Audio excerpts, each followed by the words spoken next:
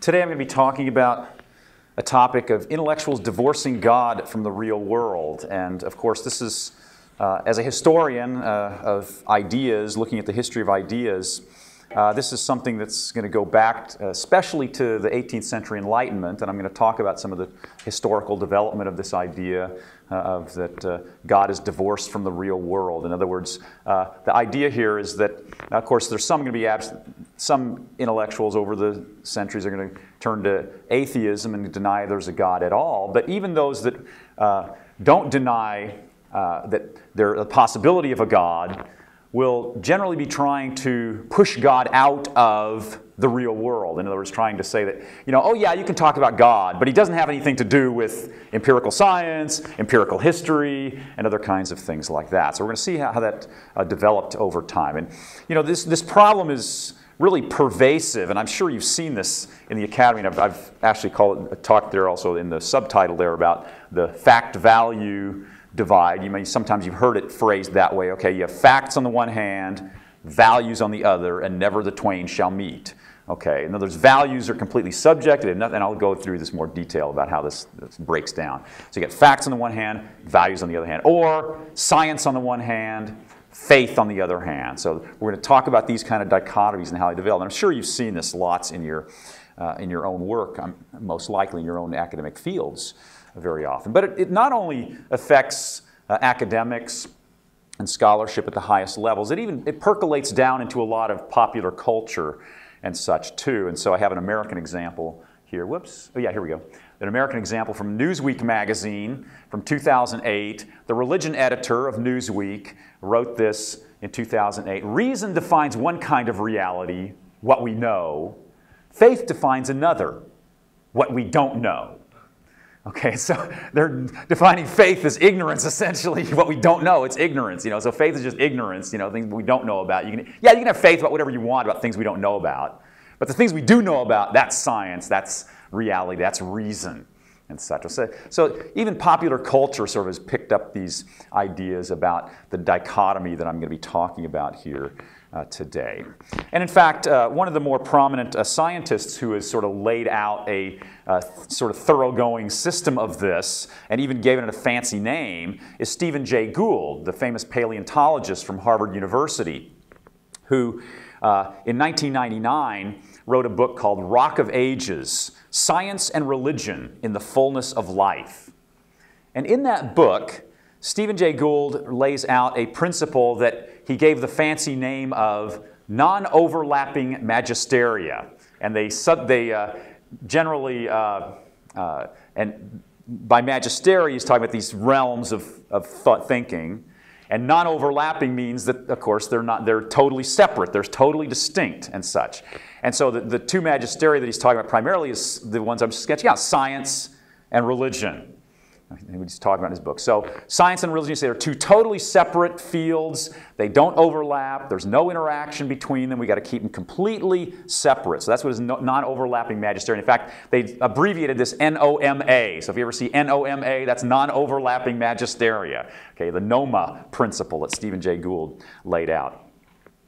What's interesting, though, is that uh, Gould violated his own principle uh, in his book Wonderful Life, The Burgess Shale and the Nature of History, which came out in 1989, and I don't think he changed his views between 1989 and 99. I don't think that's why the differences are there. But in his book Wonderful Life, he argues that the reason that we as humans exist is because of some contingent events that took back, that took place uh, in uh, geologic history uh, that he, and he's talking in this book, Wonderful Life, about the Burgess Shale, and he's looking at these different fossils that were discovered, discovered in the Burgess Shale. And lo and behold, there was this one chordate fossil that was in the Burgess Shale. And he said the fact that this, cord, this particular chordate, this sort of ancient chordate, was able to survive uh, the destruction and decimation that took place for a lot of other uh, extinction that took place for a lot of other things, that is that contingent event, that that particular chordate survived is the reason that we are here today. And he said, if you go back and replay the tape of history, how, of course, uh, most of you are actually old enough to remember tapes, but uh, in the, in the, in the, he said, if you go back and replay the tape of history, he said, we wouldn't exist. There'd be something different. because it's all based on chance events. There's contingency uh, in historical development over geologic time. So he argued that, okay, there's this historical contingency. That's sort of the main point that he's making in this book is about how the, everything is uh, the product of chance events and, and it's all contingent. However, then very interestingly, right at the end of the book, he does start making some claims uh, that build philosophically upon this notion of there being, this is all just chance events. So he says at the end of the book that we have the freedom to choose whatever path we want to take in life. Well, that's a moral position. Wait a minute, I thought morality was part of religion and on you know, the non overlapping magisterium, morality was supposed to be on the religion side. You know, but here science is making claims that he claims about contingency of history, which has, by the way, some deep philosophical uh, uh, uh, uh ramifications as well. Uh, but then when he talks about morality as well, he, you know, he's crossing the line.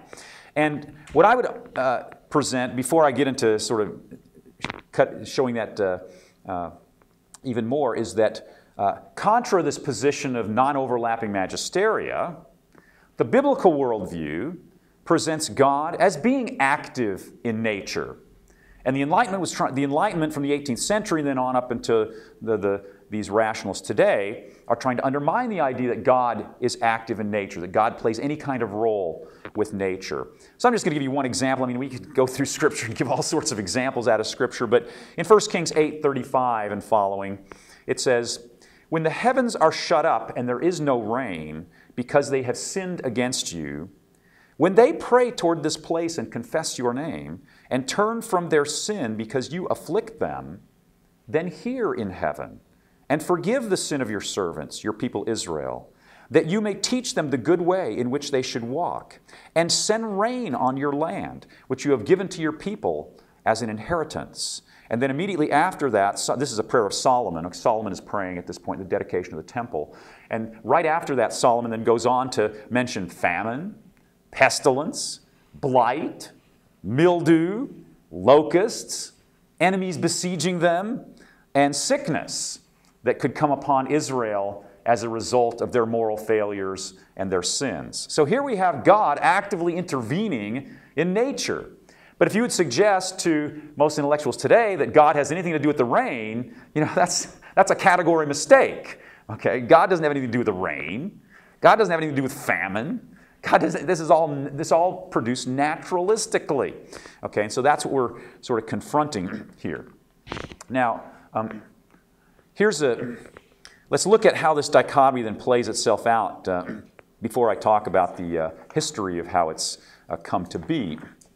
But here's sort of the, the way this dichotomy spins, spins out as we confront it. So you have science on the one hand, and then religion and ethics on the other. And again, Gould would have separated those into the non-overlapping magisteria. So science is investigating nature. And by the way, I'm going to say to you, there's nothing necessarily wrong with making distinctions between science and religion and ethics, uh, as long as we're understanding that there is not some impermeable divide between them that they can't interact in any kinds of way uh, at all. So science is the study of nature, and that's fine. Science is a study of nature, okay? Religion and ethics, study of God and morality. Okay, there's nothing pernicious about that, you know, is sort of dividing up uh, disciplines. No, no, problem with that. Uh, science is rational, so it's what gives us knowledge. Religion and ethics uh, in this dichotomy is seen as irrational. It's based on faith, and faith is usually not taken to have any kind of rational component to it in the way that this is being interpreted uh, by these intellectuals. It's based on faith or will or feelings. Okay? Uh, here's another part of the dichotomy as we go down. So, uh, science is telling us about facts, and religion and morality is telling us about values. Science is objective, right? Science gives us objective truth and knowledge, whereas religion and morality, that's subjective. That's just coming out of your internal, of your person. I guess it's, so it's completely subjective. Science is talking about reality and knowledge. Religion and ethics is about myths and fairy tales. They may not always phrase it that way, but that's essentially what the, the upshot of it is, okay? That there's no uh, empirical reality to the stories that religion tells or that morality is telling us either. Uh, science is unitary universal. That is, applies everywhere to everyone. So if you do science in you know, one country or culture, it should be the same as the science in another culture or place. Uh, however, religion and ethics uh, is pluralistic. That is, there's all sorts of different ways of conceiving of religion or conceiving of ethics. And so there's no sense in which we should necessarily agree on those things. You know, we can all have our own views about religion and ethics, and that's fine. You know, there's, nothing, there's, there's no one view of religion and ethics. Now, that may be true, by the way, empirically, that there is no one view of religion and ethics if we survey what's going on in humanity, but of course, they're saying that is in principle how it is. And obviously, as Christians, we don't agree with it. In principle, there is, it's pluralistic. In science, you have agreement. That is, we should agree among all ourselves as to what is scientific. But in religion and ethics, we can have all sorts of disagreements because of this pluralism there. Okay, so that sort of uh, looks at the way that, well, I think I have one more there. Yeah, one more category here. Intolerance versus tolerance. Now, this is interesting. It might be reversed from the way you might think I would put it there. Uh, but science is intolerant of those that don't agree with their scientific perspective because it's supposed to be unitary, it's supposed to be universal. You're supposed to agree. You know, if we tell you that something is scientific and you disagree, then you are an ignoramus. You know, you, just don't get it. You know, so there, there's a sense that which there's this intolerance coming from science if anyone would dare to you know, suggest something different you know, than what their scientific uh, perspective says. Whereas religion and ethics in this construct should be tolerant of anything. You know, and, and again, uh, they're not saying that religion is always tolerant, but the point is that it should be tolerant because there's no way, because everyone's faith, will, and feelings is just as good as anyone else's. You know, everyone's subjective feelings, myths, and fairy tales are just as good as anyone else's. You know, so there's no way in which you can make a claim, you know, that yours is superior, better, or whatever else. So, you know, religion and ethics, we should be tolerant of everyone, whatever kind of position anyone takes, and not, you know, be critical of any kind of other kind of perspective about that. So, the point of this dichotomy, it seems to me, in thinking about how it came out of the Enlightenment period of the 18th century and then how it's been built since that time, the point of this uh, dichotomy is to keep God out of natural reality, divorced from reality, uh, to deny any kind of supernatural activity. And usually this will, there's a denial of miracles in here that's implicit because a miracle obviously is God breaking through into the natural world. So this implies no miracles. It implies that nothing miraculous can ever happen. So because you know, science is completely uh, separate. You know, God and morality is a completely separate category. He can't intervene in nature. You know, these got to be kept completely separate. So this is uh, so the promotion of sort of a non uh, uh, supernaturalist worldview sort of goes hand in hand with this, this dichotomy here, sort of what's driving really this dichotomy here. And so in the Enlightenment period, what we find is that you, you do find in the Enlightenment period uh, a strong rejection of any kind of supernatural intervention of God uh, in the world. And so you know, the famous Enlightenment figures like Voltaire and such, uh, they were very staunchly against the idea that God would have intervened. And they did actually believe, many of them did believe that there was a God, but they believed he didn't do anything in nature. In fact, uh, one of my philosophy professors when I was an undergraduate said that this was the, that the deists of the Enlightenment period, that their doctrine was basically an unemployed God. You know, so yeah, you allow the God to be there. He did something in the, in the beginning, you know, he, he, he, initiated things, but then he just let it run on his own and he didn't do anything after that. And so they're trying, this, this dichotomy sort of reinforces that notion of there not being any supernatural, no miracles can happen because uh, science and history are on this side, and by the way, history goes on this side too very often. Okay, so historical, empirical history goes here as well, and uh, religion and God and ethics are on this side over here. So religion then can't make any, according to this kind of dichotomy, religion cannot make any kind of objective truth claims. Right? So any, truth, any claim that you make based on religion or ethics is subjective. It's not objective, it's, and it can't be then uh, an objective truth. However, it's interesting that uh, many scientists, even those who claim to uh, adhere to these, this kind of dichotomy and such, very often do try to make truth claims about religion and morality, interestingly. And here's a, an interesting uh, uh, cartoon I came across in a review. I actually put this, this is actually in my book, Death of Humanity, too. This cartoon showing you have a, a clergyman here talking with a scientist. And so the scientist says, science and religion are non-overlapping magisteria. So there's Stephen Jay Gould's idea, right, about the non, non-overlapping magisteria there. So science and religion are non-overlapping magisteria. And the, the clergyman comes along, and, and this is characteristic of a lot of mainline clergy, a lot of, you know, certainly on the liberal side of theology, they'll say, yeah, that's right. So he says, yeah, that's right, and each can discover truth. You know, so we'll just keep our compartments separate and discover truth in our own way. And so the scientist goes on to say that that means science shouldn't comment on religious myths and legends. And religious people should leave the science to us and trust our answers. And so here you, you get the fact that, okay, science is now claiming that we have a monopoly on knowledge. Okay, what you guys are saying is not you know, it's just myths and legends.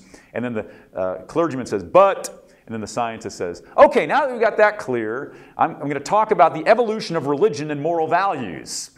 so what, what starts out with is saying, oh, we're going to have this non-overlapping magisteria, ends up with science monopolizing, you know, the, the claims of truth and the uh, claims of anything that would be knowledge. And then the guy says, that's not, remember, I do the science. you know, so science basically takes over the whole field.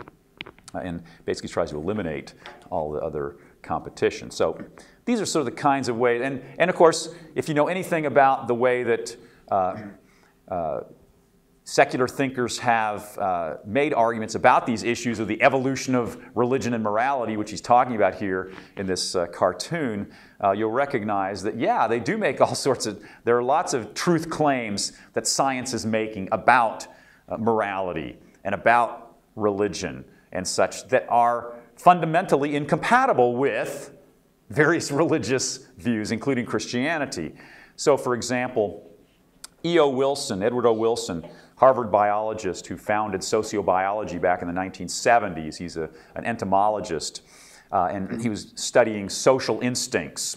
And he began to apply his, he tried to figure out how these social instincts could have evolved and such, and then he began applying those ideas to human evolution as well, and thinking about the evolution of human morality and such. And so he's written uh, a good, he's written a whole book on human nature, for example, uh, and many other uh, works popularizing his ideas about sociobiology. But he and Michael Ruse, who's a philosopher of science, a prominent philosopher of science, said this about ethics in thinking about their spin on evolutionary ethics, that ethics as we understand it is an illusion fobbed off on us by our genes to get us to cooperate. Okay, so here's a, a claim that is being made, and this is not all that unusual actually. There's lots of evolutionary ethicists out there, lots of people promoting evolutionary ethics, and I've done a good deal of research of the history behind evolutionary ethics. It goes all the way back to Darwin himself. Uh, Darwin himself was uh, promoting the idea that ethics had evolved over time, and that's where we get uh, mor- human morality.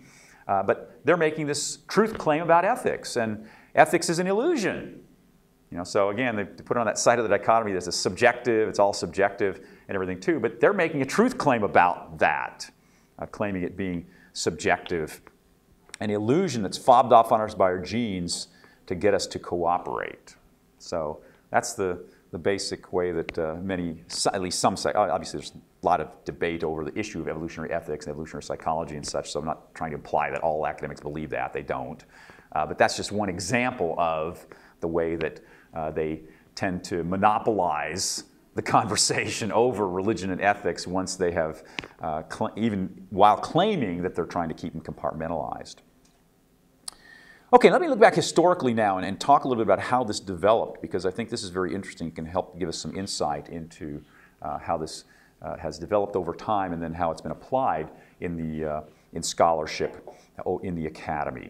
I already mentioned that this, the process sort of begins in the Enlightenment period in the 18th century uh, when uh, thinkers began to marginalize God and religion and claimed that religion is the sole arbiter of truth Uh, excuse me, claimed reason rather, excuse me, claimed that reason was the sole arbiter of truth. So that reason was the watchword of the Enlightenment. Okay, Enlightenment rationalism, the idea that reason is the only way to find knowledge.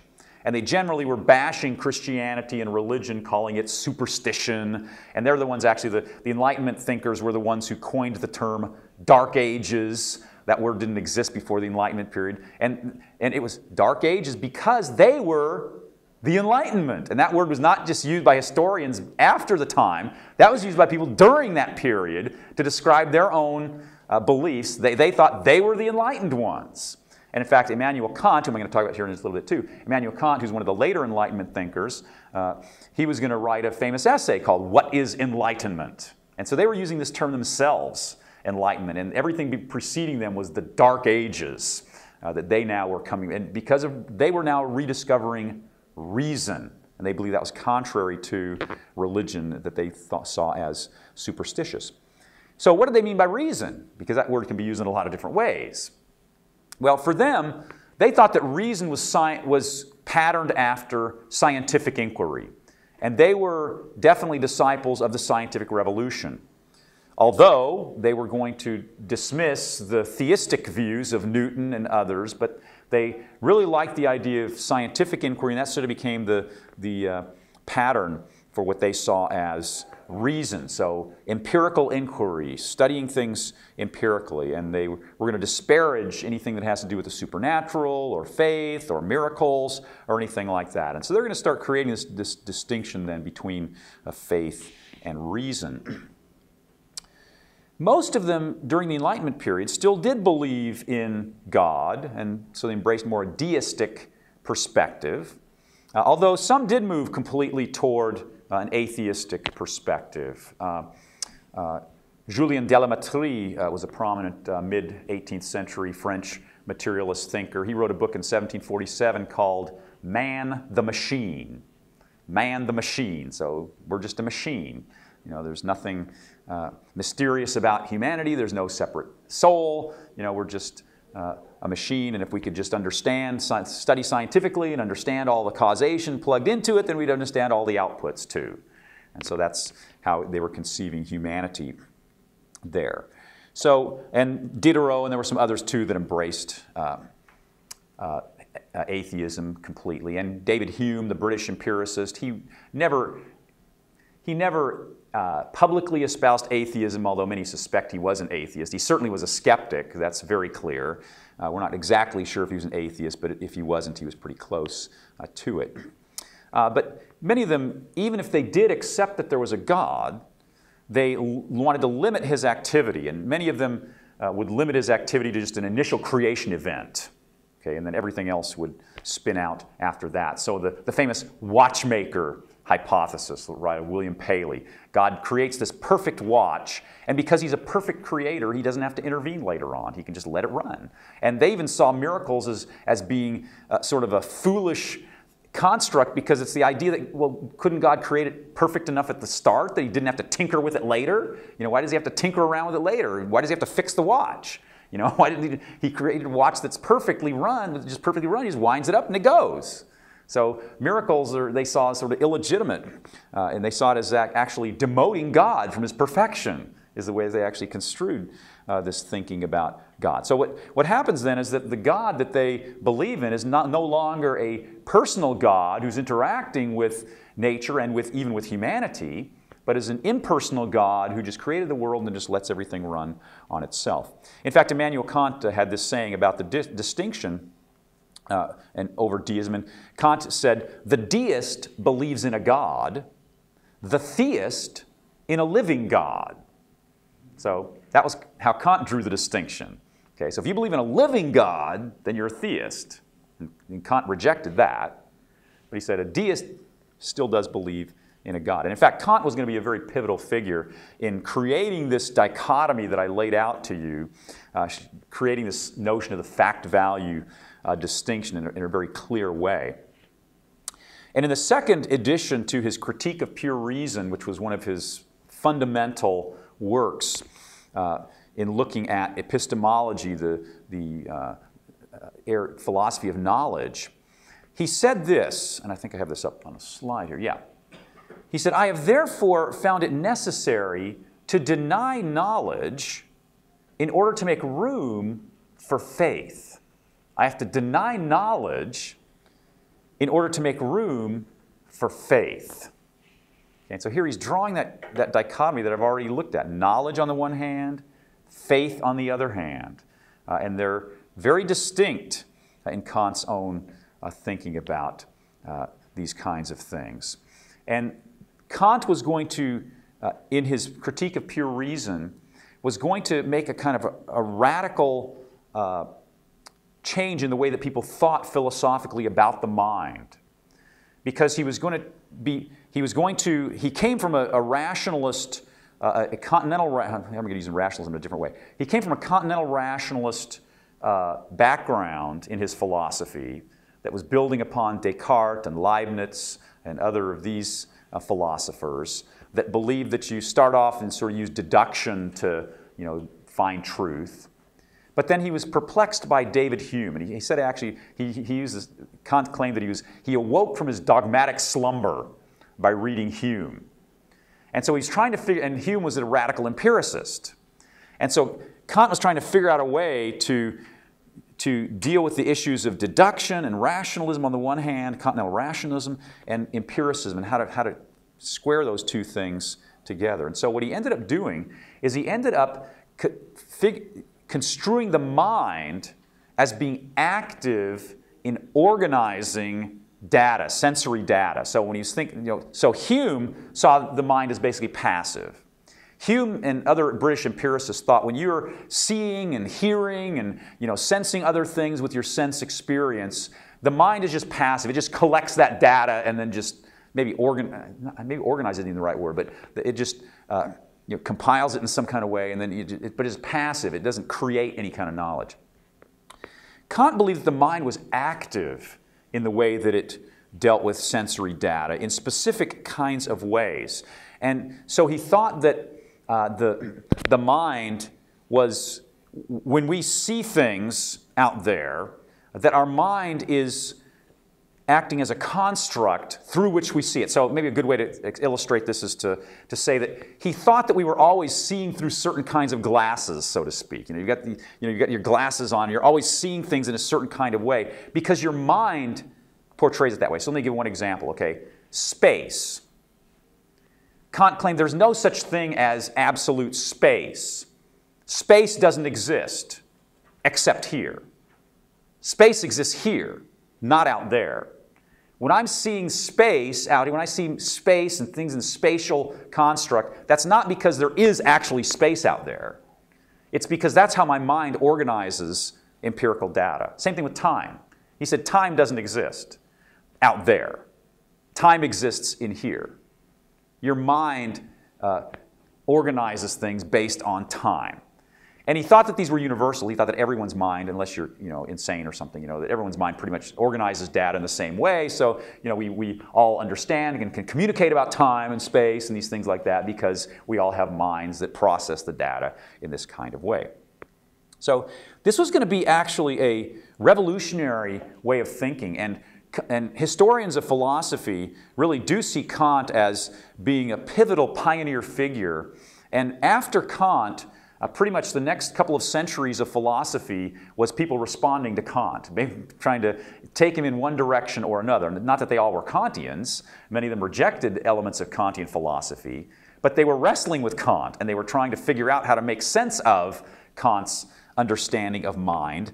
Uh, and again, they could move in different directions with it. But let's look here at how this is going to work itself out in Kant's way of thinking about uh, the uh, cosmos and dividing the, the world into different realms uh, epistemologically. Now, first of all, I need to be careful with this word dualism here because there's different kinds of dualism, and some kinds are good and some kinds are not good in terms of philosophically. Uh, and in fact, the word dualism gets bandied about a good deal, and I've, I've had a lot of discussions with people about even body soul dualism and such. There's some people that are, don't, aren't comfortable with that term, but here I'm talking, I'm not talking about body soul dualism here, I'm not talking about anthropological dualism, I'm talking about epistemological dualism. So this is a dualism in thought, the way that we think about things. This is a dualism of knowledge. And I'm not saying that makes it good or right. In fact, I don't agree. Obviously, I'm trying to undercut this dualism here uh, in my whole talk. Uh, so I do think that there's something pernicious about this kind of dualism, but I want to be clear that there's different forms of dualism, and some are not necessarily pernicious. So Kant divided the, the knowledge into two different kinds of knowledge. And he called this the phenomenal realm on the one hand and the noumenal realm on the other hand. And the word noumenal uh, comes from the Greek word for mind. And so this is the side of mind. This is the side of empirical reality, the, the, the world out there. And so uh, this is the phenomenal realm is the perceived world, the empirical world, the, the world that we can sense, that we have sense experiences about. The noumenal realm is the things in themselves, the way things actually exist, which we don't really have complete access to, right? We only have access to them through our sense experience.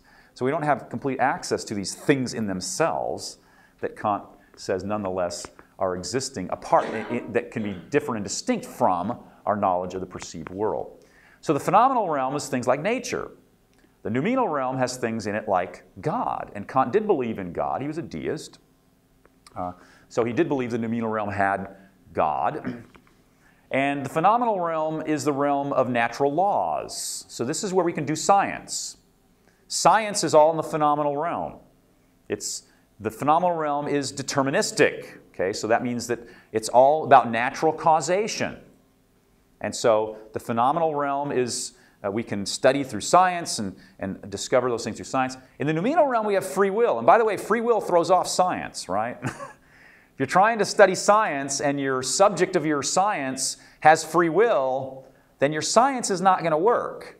And that's why, by the way, when we get to the like 19th century, when uh, Francis Galton, the famous uh, pioneer of eugenics, coined the phrase nature versus nurture, and sort of and began engaging this debate in the late 19th century. You'll still hear this, by the way, all the time. You know, nature versus nurture. You know, well, wait a minute. Are those the only two options? If free will exists, there's actually another option between nature and nurture. There's something other than nature and nurture. Uh, but Kant was going to constrain, was going to believe that free will was going to be only in the noumenal realm. So again, distinct from science and natural laws, which is true, uh, but uh, it doesn't mean that uh, free will can't interact with the other things, which we're going to see. Okay, so here's where you do science, and here's where you have religion. The phenomenal realm is temporary, you know, as long as this world uh, exists and such. And Kant, interestingly, as a deist, did believe that there would be some afterlife as well. In the noumenal realm, he thought there was immortality. In fact, in, in these three things here, by the way, God, free will, and immortality, those were three of the things that he specifically said were part of the noumenal realm and part of the things that we could not gain through uh, pure reason, but that we could gain through what he calls practical reason, which he's going to write about later in his books. And so that's, in fact, the next thing here. The phenomenal realm is accessible to pure reason. So when he wrote his famous Critique of Pure Reason, he thought that what you're actually examining there is things in the phenomenal realm. So what this means is that we can't get scientific, empirical knowledge, pure reason knowledge about these things, God, free will, and or religion, immortality. Those are things outside of our ability through pure reason to understand or get knowledge about. The problem for Kant is that he says we can't know anything about these things on the right here, uh, the, the, in the noumenal realm. Uh, we can only know about these things in the phenomenal realm. And in one sense, that's right. But then, of course, he does go on to write his critique of practical reason, where he does try to say that we can know about these things through practical reason. So, through pure, what he calls pure reason, we can't know about those things on the right. Kant would say, through pure reason, we can't know these things at all.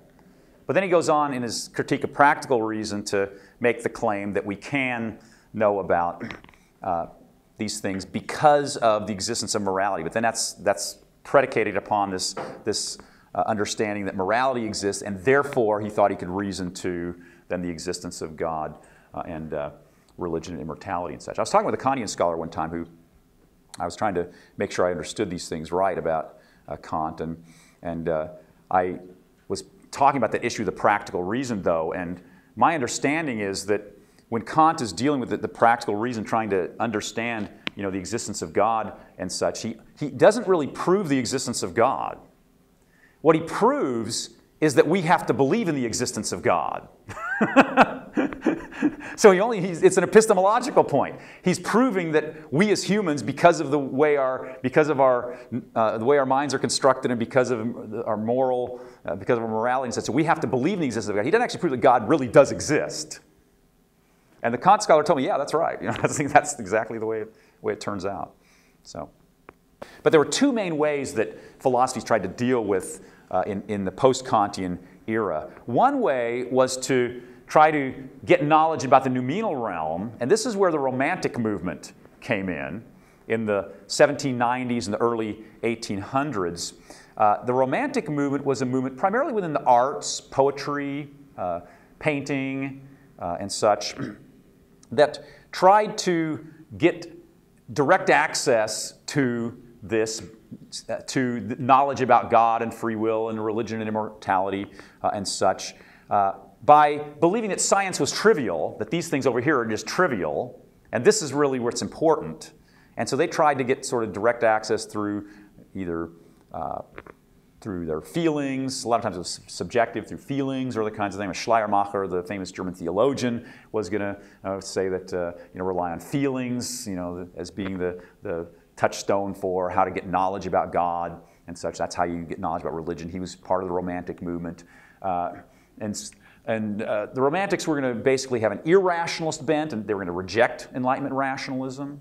So they're going to be looking at things like will, emotion, uh, as ways of getting knowledge. When I say irrationalism, I'm using this in a technical sense, by the way. I'm not using this as you know, insane or crazy or something. I'm, I'm talking about people that rely on will or uh, emotion or other kinds of subjective ways of getting knowledge and believe that's the path to knowledge. So feelings or faith, that's sort of part of that irrationalism of romanticism. Romantics tended to uh, promote religion, not always Christianity though. Sometimes uh, there's a lot of pantheism uh, in the Romantic movement uh, in the 1790s, especially in the very earliest phases of the Romantic movement, but other people coming out of Romanticism too uh, were going to uh, embrace uh, pantheism too. But some did move to more uh, Christian forms, uh, sometimes Catholicism. Chateaubriand in France was an example of that, who embraced Catholicism. belief in metaphysics, uh, usually the fine arts were the way, main way that they were trying to promote their ideas through painting, Poetry, poetry especially, William Blake in England, for example, is a good example of that. They saw nature as being beautiful. They focused on the aesthetic side of nature, not the mechanistic side. They're rejecting the Newtonian mechanistic model of nature. They're saying it's, it's all about nature being beauty, and they believed in free will. So that's, again, they're trying to break away from the scientific viewpoint of the Enlightenment and the primacy of mind rather than matter. And so here's just one example. We don't have time to go to a lot of examples. This is a, a German painter, uh, David Caspar Friedrich, uh, and you can see the centrality of religious uh, image there with the, the steeple of the church there, and uh, you have this notion of sort of death at the bottom with these dead bushes and everything, but then you have sort of symbols of everlasting life stretching up to the sky, and you get the light here, the darkness down here, light here, crucifix, Jesus in the center, sort of pointing upward with the steeple uh, there. So this is a typical kind of example of kind of romantic kind of thinking that did bring primacy toward religion and, and feelings uh, and such. But there was another way that, uh, there was an opposite kind of way that uh, people took Kant, and that was to focus on the phenomenal realm and just dismiss the noumenal realm altogether. And these were the positivist uh, movement, which uh, is equivalent to what later became known as agnosticism. Agnosticism in a, uh, a hard sense, not the soft agnosticism. This is the, this is the notion that, that uh, the only knowledge we have is scientific knowledge. The only kind of knowledge we have is what we can get empirically uh, through our sense experience and such. And so uh, the positivists were arch rationalists. They believed in reason. Uh, they focused on science as the path to knowledge. Um, they uh, the word agnosticism, by the way, only came about in the middle of the 19th century. And the word agnosticism, when it was first coined, did not mean, as it sometimes today might mean, just, oh, I just really don't know, and maybe you don't even care. Uh, maybe you know something about God or whatever, but I don't. When the word agnosticism was first coined, it, it really meant, like the positivists believed before the word came about, that I don't believe in God, uh, excuse me, that I don't know if there's a God or not, and neither do you, and neither does anyone else, because it's in principle impossible to know whether there's a God or not. So it's denying that there, even the possibility of knowledge about God. And that's what positivists uh, believe that anything, any statement about God they believe is totally outside the realm of our ability to understand or have knowledge about it. So they're focusing on uh, laboratory science, machines, uh, rather than the fine arts. They see nature as a mechanism. They want, they want mechanistic, mechanistic explanations for, uh, science, for nature rather than seeing the aesthetic side of nature. Uh, they're deterministic. They believe everything has to be explained, explicable by scientific means, including humanity. Humans have to be explained through scientific laws and scientific causation as well. And then the primacy of matter. Uh, so uh, many people on that side, positivists uh, in technically are not atheists, uh, because an atheist denies that there is a God, and the positivist would say we can't know whether there's a God or not. So there's some distinction there. But, they're but when they get to their interpretations of humanity, it's pretty much the same thing because they both believe the only way to interpret things is through scientific knowledge and empirical, uh, empirical construct with that. So uh, let's look at then real quickly, I'm just about done here. Uh, look at real quickly how this has impacted contemporary philosophy. So in contemporary philosophy, you have two main branches uh, of contemporary philosophy uh, in the academy. Uh, you have analytic and you have continental. The analytic is much stronger in the Anglo American tradition. Uh, in uh, the United States, the vast majority of universities, especially research universities, are dominated by the analytic tradition.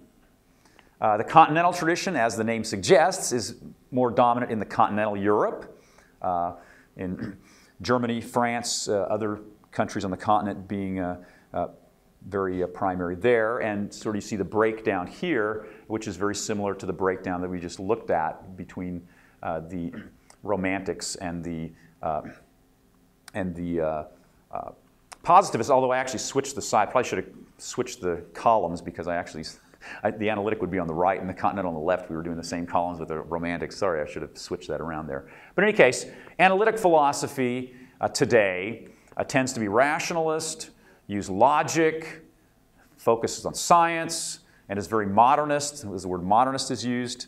Uh, and the continental philosophy tends to be irrationalist, focusing on getting knowledge through will. And here, when we're talking about continental philosophy, we're thinking about uh, especially many of those who've built upon Nietzschean philosophy, such as Heidegger, uh, Sartre, uh, and then more recently, uh, people who fit in the sort of postmodernist kind of category, like Foucault and Derrida, and some of the very prominent uh, philosophers who come out of the continental kind of tradition. A lot of them uh, use literature and the arts to try to convey their ideas. I mean, think of Jean Paul Sartre writing plays, writing novels, and other kinds of things to convey his ideas about life being absurd and other kinds of things like that. And, and uh, didn't believe that, believe that knowledge was something that we construct, not something that we uh, sort of discover.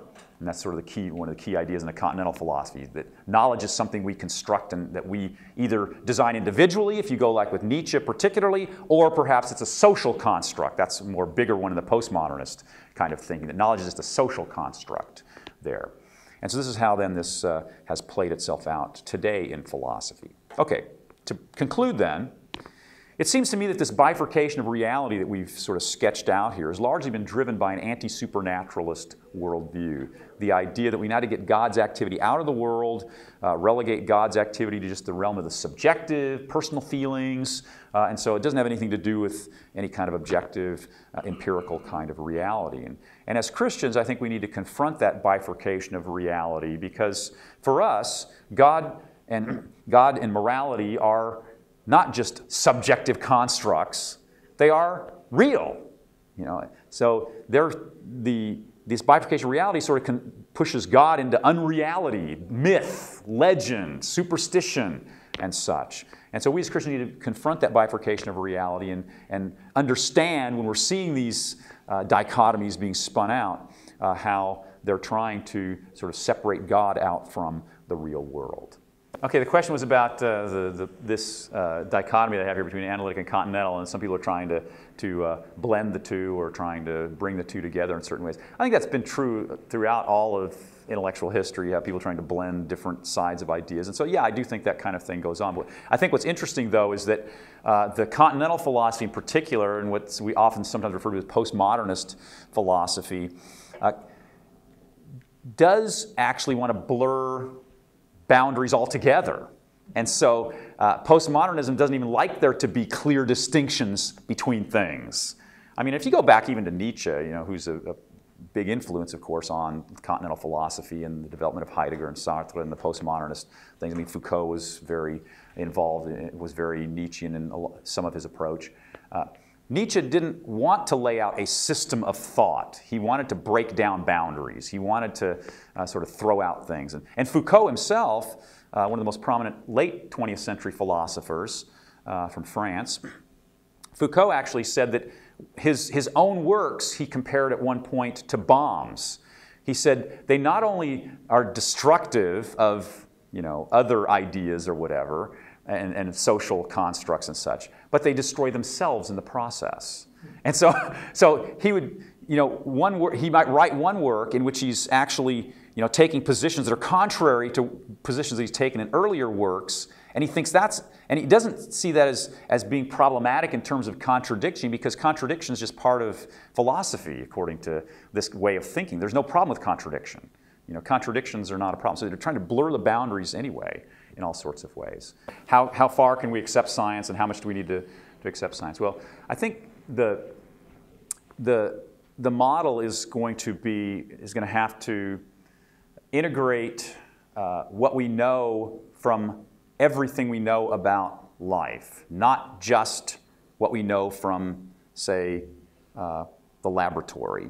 And in fact, you know, you think about scientists, they actually do this in a lot of ways, and, and think about how far we can go in, in, in uh, you know, accepting science.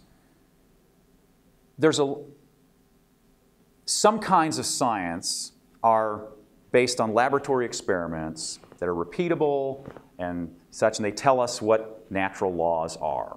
So, in that kind of a model, experimental science, lab science, you know, we as Christians can engage in that, of course. We can uh, test you know, those theories too, by the way, there's actually a lot of, there's a, what's referred to sometimes a replication crisis going on right now in some sciences. Uh, and it, it's not, and psychology is one of the worst.